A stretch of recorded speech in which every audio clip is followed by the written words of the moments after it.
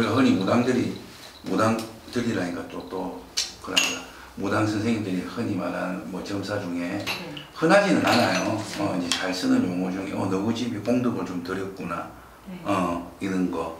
어 절에 절을 절을 부지런히 다니셨던 할머니가 뚜렷하게 본인 앞을 쓰고. 외할머니, 외할머니. 예, 이 성당을 이렇게 예. 예, 이렇게 우리 이렇게 108염주를 차고 어, 뚜렷하게 들어쓰는 할머니가 본인의 수호신이자 본인을 도와주고 계신다. 어, 본인은 절을 좀 많이 다니시면 좋겠어요. 그리고 사주는 태어난 사주 우리가 사주는 일이 바뀌지가 않는다고 하잖아요. 네. 사주는 정말 잘 타고났어요. 사주가 어, 여성 여성적인 사주도 지닐 뿐더러 내 하는 일에 대해서는 또 남성적인 남자가 지니할 사주까지 다 지녔거든요. 네. 내 사업, 내 장사를 해도 좋고 네. 또 거기에 따라오는 금전도 좋고 네. 하지만 가정을 너무 빨리 이뤘다. 음. 가정을 너무 빨리 이루면서 이렇게 다른 집안의 자손으로 자손과 만남으로써 그 집안의 사람이 됨으로써 본인의 기운이 조금은 깎였다. 네. 무슨 말인가 알겠죠? 네. 어떻게 보면 본인은 만인의 꽃이 되어야 되고 혼자서 내 일을 하고 살아가야 되는데 어 그게 조금 본인의 할머니가 조금은 구슬프고 조금은 마음은 조금 아파하신다. 어 본인의 남편이랑 남편분이 아무리 이렇게 조금 능력자고 금전을 많이 벌었다 쳐도 본인은 집에 있는 사람은 아니에요. 네. 살림만 하고 애를 키우고 이런 건 아니에요. 물론 애가 어리, 어릴 때는 내가 애를 케어를 해야 되기, 되지만 어, 그렇지 않으면 본인은 밖에 나가서 남 밑에서 일해도 안 돼요. 본인은. 네. 무슨 말인가 알겠죠? 네. 어, 사람들을 손 아래 발 아래 두고 어, 이렇게 이끌고 나가야 된다.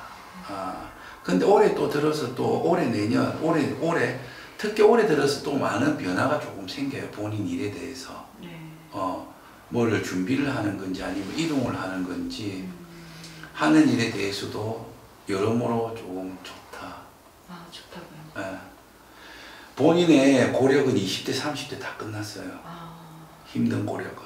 아 정말요. 예. 정말 힘들었어요. 네. 20, 30대는. 본인이 어, 하다 못해 한 3년 전, 4년 전만 내한테 점을 봤어도 저는 구태라고 할 것 같아요. 아, 근데 그거를 본인이 몸으로 다 느꼈고 몸으로 다 이렇게 부딪히고 이렇게 살아왔기 때문에 어, 앞으로는 내가 하는 일에 대해서 어, 좋아요. 그리고 본인의 지금 이렇게 음, 외형상 봤을 때는 머리도 지금 칼라풀 좀 하고 네. 뭔가 조금은 좀 화려한 스타일이시잖아요. 네.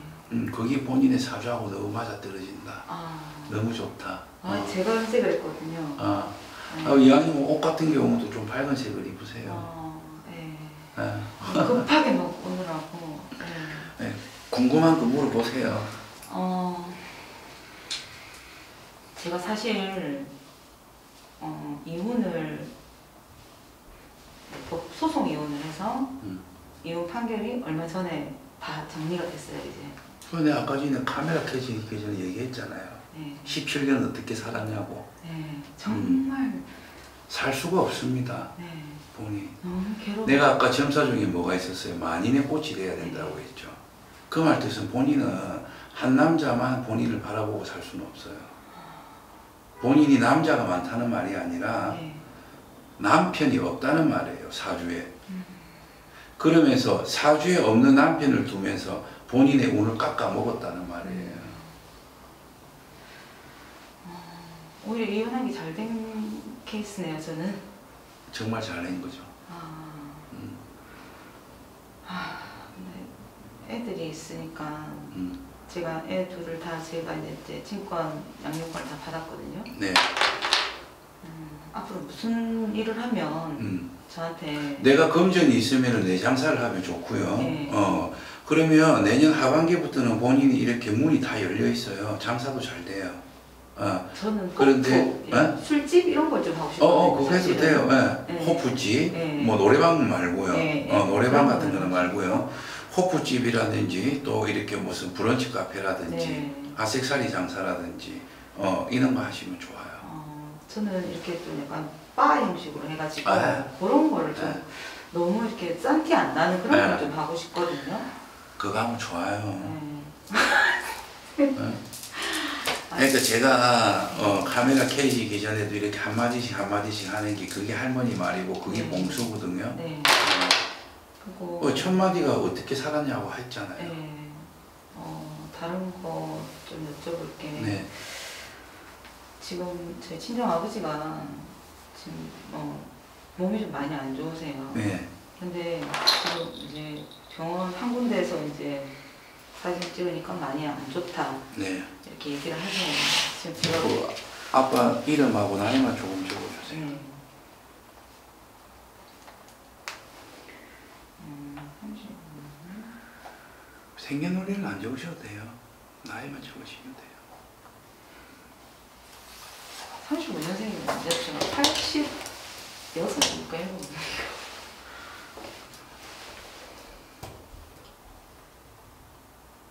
돼지 띠우시거든요.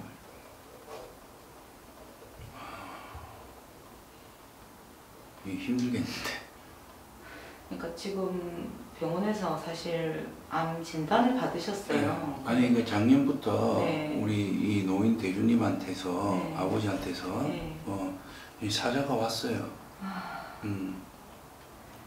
뭐 어떻게 지금 제가 지금 모시고 있어요. 또 제 저희 네. 집으로 네. 일단 저희 집이 일단 조금은 좀 더 이제 거동하기가 편해서 네. 제가 지금 모시고 있는데 하, 아버지 걱정 때문에 지금 다른 걸못 하겠는 거예요. 제가 그래서 제가 사실은 오면서도 꼭 한번 여쭤봐야겠다. 아빠가 음. 걱정이 너무 되고 음, 지금 이쪽에 폐 음. 암이라고 얘기를 하고 이제 물도 찼다고 하고 막 그런 얘기를 하고요. 제가 뭐 어, 언제 돌아가신다 이렇게 저는 네. 이렇게 점사해서 그 말씀을 안 드리는데 네네네. 그렇게 길지는 않을 것 같아요. 네. 어. 제가 딱 느끼기에도 아버지가 이상하게 빨리 올해는 안, 네. 올해를 못 넘길 것 같다라는 네. 감이 네. 타오는 거예요. 음. 그래서 또 겁이 나기도 하고 그러니까 이제 그 전까지는 뭐 아버지도 지금 연세가 작은 네. 연세는 아니잖아요. 예, 예. 뭐내 부모는 뭐 천년만년 오래 살면 좋죠. 하지만 이렇게 명이라는 게 그게 딱 주어진 명대로 살고 돌아가시거든요.